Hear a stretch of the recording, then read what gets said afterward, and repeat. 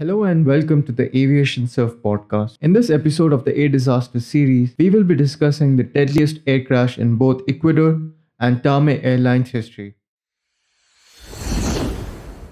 On 11 July 1983, the Boeing 737-200 carrying 119 people on board, of which 8 were the crew members, crashed into a hill overlooking the runway during its final approach towards Mariscal Lamar Airport in Cuenca killing all of the 119 souls on impact. Now, since the crash happened 38 years back, there hasn't been any substantial coverage of this incident. Neither has this incident been featured in any of the episodes of the air crash investigation show. So, before we proceed with what happened in the morning of 11 July 1983, let us go over a brief history of the Tame Airlines and why it got seized last year. Like many Latin American airlines, Tame Airlines was founded in Ecuador on 17 December 1962 by the Air Force and was the flag carrier and the largest airline of Ecuador back then until now. Why was the airline founded by the country's Air Force, you might be asking? Because since the country was not entirely well connected,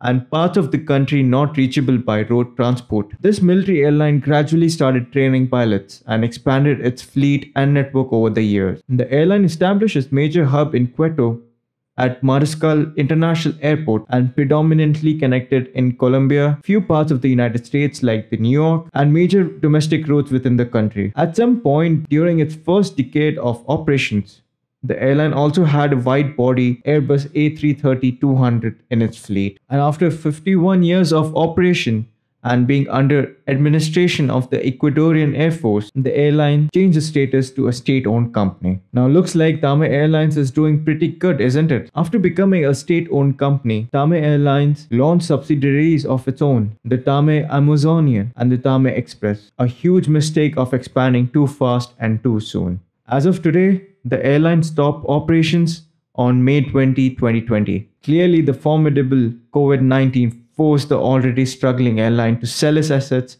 and discontinue all of its operations. Now, when it comes to the fleet of the airline, it had a diverse seven aircrafts in its operation, the majority of them being the ATR 42s, being used for its domestic networks and historically comprised of several Boeing 727s, 757s, Beechcraft 200, Douglas DC-3s, and many more. Before we go over why the Boeing 737-200 crashed all of a sudden during its final approach and what went wrong, let us go over the history of this aircraft involved in the crash. Now, believe it or not, the Boeing 737-200 bearing the registration number HCBIG was the only Boeing 737 to ever operate by Tame Airlines. The aircraft was initially delivered to the airline on the 2nd of October 1981, two years prior to the crash, and was in Tame Airlines ever since. Coming back to the incident, on the morning of 11 July 1983, the Boeing 737 200 was a routinely scheduled flight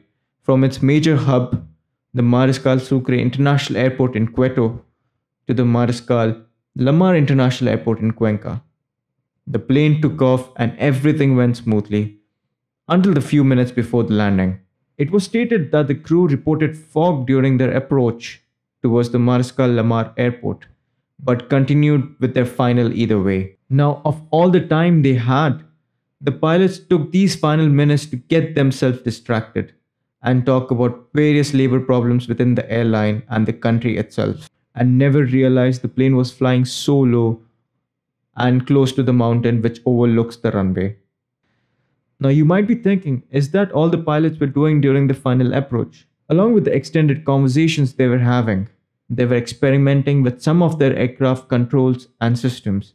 Seconds before the Boeing 737 hit the mountain, the ground proximity warning system activated and warned the pilots about the terrain collision but it was already too late. Both the captain and the first officer attempted to climb by applying full throttle.